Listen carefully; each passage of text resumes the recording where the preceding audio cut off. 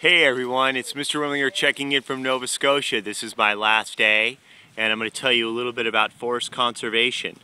So as you know, there's these things called invasive species and native species. Well, that happens even here in Nova Scotia.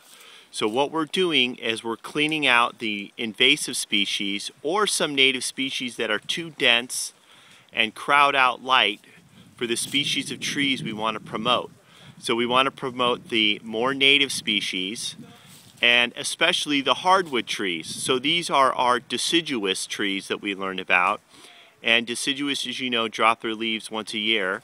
But they have very broad leaves, and these leaves are edible for many of the animals that call the forest here their home.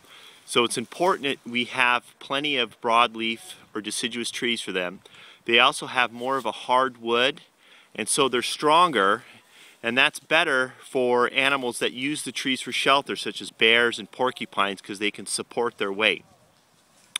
So the Forest Service has come through and they've marked trees to be cut down. They've already been cut down. And now we're going through and uh, changing those trees into logs by stripping off their stems.